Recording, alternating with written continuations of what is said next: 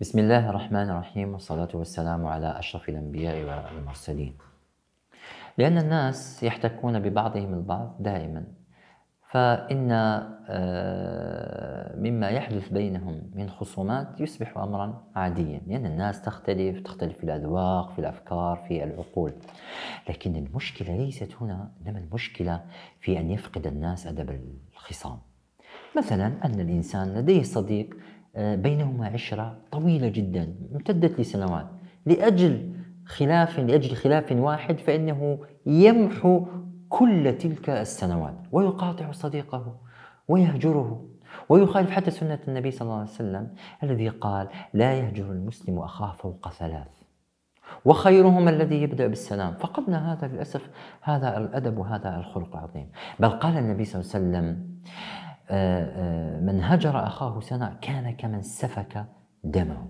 أيضا من بعض من بعض الآداب المفقودة من الآداب المفقودة أيضا.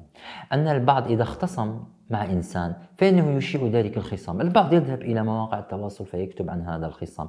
البعض آه، آه، يلتقي بجميع الناس فيحدثهم بهذا الخصام. وهذا ليس من الأدب. أيضا من المشاكل الكبيرة التي يعانيها الناس اليوم أن الناس لا تكتفي بالخصام بل تزيد عنه إلى الشحناء والبغضاء والعداوة وتحرق كل خطوط الرجعة. أنا خاصمتك اليوم لكن نترك خطوط الرجعة. قد نعود إلى بعضنا غدا. مثلا في مواقع التواصل الاجتماعي أو في تطبيقات التواصل الإنسان يتوجه مباشرة إلى حضر صديقه ومنعه آه، من التواصل. هذا من الفجور في الخصومة وهذا من العار أن يحدث هذا بين الأقارب أو بين الأصدقاء. إنسان يترك خط رجعة. لماذا؟ لأن هذا طريق إلى الشحناء والبغضاء وإلى الحقد. ومعروف أن الرجال شد ما يثبت الشحناء في قلوبهم هو هذه التصرفات. أيضا إذا اختصمنا واعتذر بعضنا إلى بعض فإن من الآداب المفقودة أن البعض يرفض الاعتذار. وهذا ذنب أقبح من الذنب الذي اقترفه صديقك أو قريبك أو حبيبك. الإنسان إذا اعتذر إليك عليك أن تقبل آه، اعتذاره أيضا من الآداب المفقودة أن بعض الناس يرفض الاعتذار حتى وإن أخطأ. ويتحجج بالسن ويتحجج بمركزه الاجتماعي. أنا آه، فلان وأنا طبيب وأنا طيار وأنا إمام وأنا شيخ وكذا. هذه المراكز الاجتماعية لا علاقة لها. إن أخطأت قدم اعتذارك للناس. والكبار يفهمون على الاعتذار خلق نبيل وخلق راقي. ومن لا يعتذر عن أخطائه تكبرا.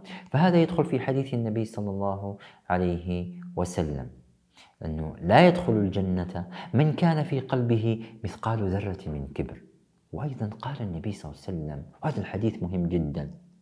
حديث يتحدث عن المتكبر وهو الكبر بطر الحق وغمط الناس غمط الناس احتقارهم. وبطر الحق يرده. يعني أنت تعرف أن هذا الشخص على حق وأنك أخطأت في حقه وأذنبت ولكنك تتكبر. هو الذي عليه أن يعتذر. أنا أكبر سنا منه. حتى وإن أخطأت فعليه هو أن يعتذر.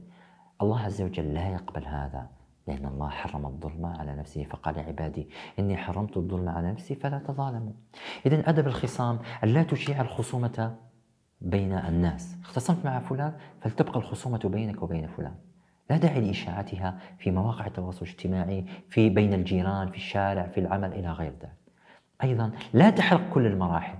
قد تحتاج هذا الإنسان. قد تحتاج إلى آه، خط رجعة. لا تحرق كل المراحل كن عاقلا في الخصومة. وأما الاعتذار فإنه خلق راق خلق الناس الذين يتصفون بالنبل والمروءة والشهامة. ومن تزين بخلق الاعتذار حين يخطئ أحبه الناس.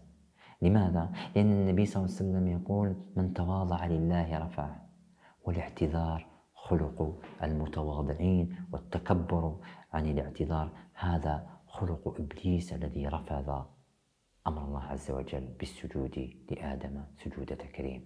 وصلى الله وسلم على سيدنا محمد.